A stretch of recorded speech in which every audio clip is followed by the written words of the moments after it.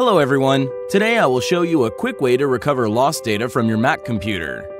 You might have lost photos, videos, audio, documents, and emails from the drive or by emptying the trash. With Stellar Data Recovery software, you can quickly restore your lost data in a matter of minutes.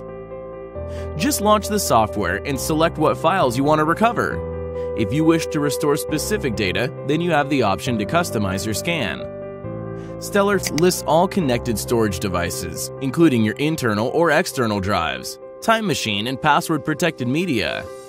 Select the drive you want to restore your data from and click the scan option. The software quickly starts scanning your selected hard drive and brings preview of the recoverable files.